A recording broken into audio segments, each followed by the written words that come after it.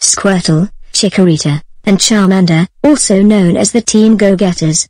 How fucking dare all three of you have the audacity to attack us with Razor Leaf, Flamethrower and Water Gun at all three of us for no goddamn reason. That is so it. All three of you are grounded until when pigs fly. And for that, we all are going to assault the three of you for all of this. No. Please don't assault us.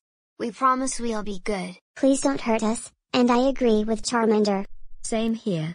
We're really sorry for attacking the three of you sock puppets.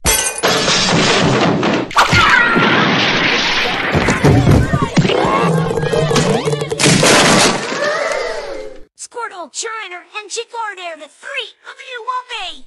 Yes Ash, we're okay. Three sock puppets just assaulted and spanked us for no goddamn reason.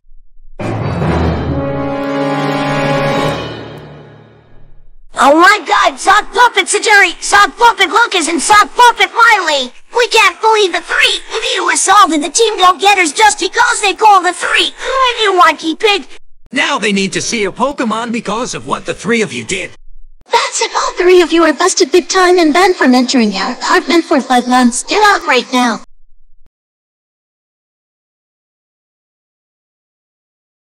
What the fuck sock puppet Satari?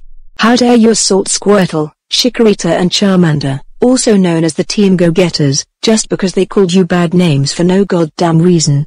Not to mention that you got Trixie Prank into a lot of trouble as well. She is also Satari's childhood friend of all time. That does it. You are grounded for the rest of your life. Get your goddamn sock puppet ass into your room right now.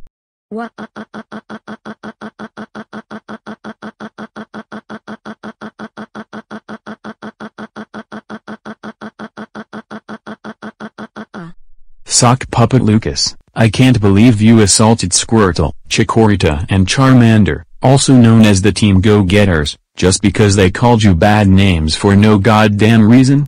That does it. You are grounded for the rest of your life. Go to your room right now. God damn it. Blew it up big time. Sock puppet Miley Cyrus have you already lost your mind?